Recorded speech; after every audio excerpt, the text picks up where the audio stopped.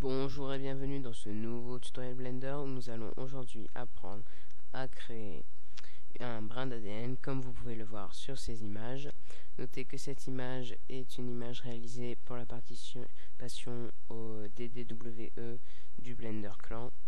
Donc je fais régulièrement des descriptions de ces créations sur mon site internet. Donc j'ai fait la présentation dans une précédente vidéo. Je vous invite à aller les consulter. Je mettrai bien entendu l'adresse dans les liens de la vidéo. Et voilà. Donc euh, nous allons apprendre à créer cette image en utilisant quelques modifiers. Nous ne nous attarderons pas sur le rendu, juste sur la conception de cet objet, de la modélisation et d'une façon simple et rapide. Alors à tout de suite pour ce tutoriel. Et nous sommes maintenant dans Blender pour commencer la modélisation de ce brin d'ADN. Alors, euh, tout d'abord, je tiens à m'excuser du bruit de fond, je n'en suis pas responsable. Le voisinage a décidé de faire une fête, ça dure depuis deux heures, mais bon, je ferai le tutoriel quand même. Alors, euh, je ne sais pas si vous l'entendez, mais bon. Donc, euh, une, fois n'est pas coutume, nous n'allons pas supprimer le cube de base. Donc, vous mettez en vue du dessus, 7. Et vous allez donc réduire le cube, donc environ 0.3.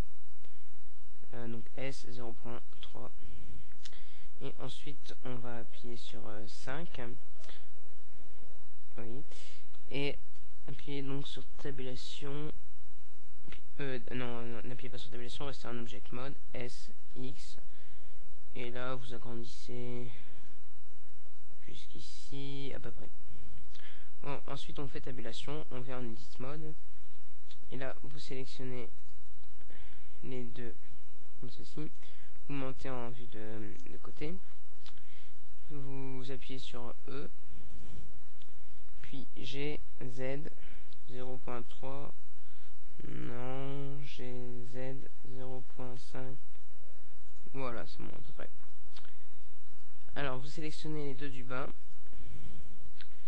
puis extrude GZ moins 0.5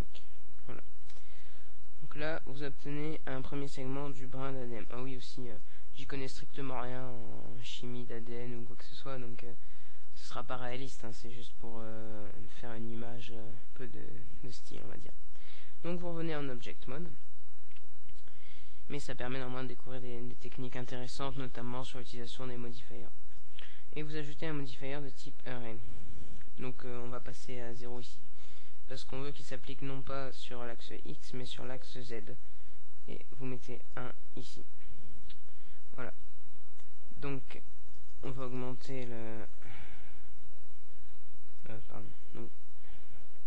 Vous pouvez augmenter le, nombre on va le mettre à 24 voilà alors euh, c'est bon alors ensuite vous allez ajouter un deuxième modifier de type Simple Deform.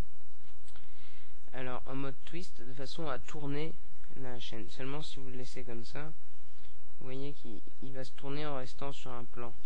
Donc la solution c'est d'ajouter un empty bien au centre, bien en bas, hein. donc en gardant si le curseur est centré, faites Shift C pour le recentrer. Donc ensuite vous resélectionnez euh, ceci, euh, le, brin d'ADN, origine, sélectionnez l'empty et vous cochez relative. Voilà, là le brin d'ADN se tourne correctement. Donc ensuite vous passez à 12 par exemple la déformation et vous obtenez un brin d'ADN beaucoup plus réaliste.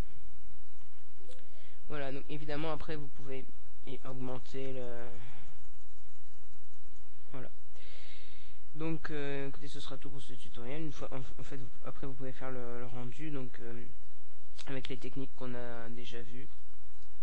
Donc euh, vous repositionnez votre caméra et euh, je vais m'arrêter là parce que le reste juste F12 et là il n'y a pas d'éclairage donc c'est pas beau donc F12 voilà donc merci d'avoir visionné ce tutoriel désolé pour la musique de fond et si vous êtes en vacances eh ben bonnes vacances si vous n'êtes pas ben, tant pis vous le serez sûrement prochainement et au revoir à tous.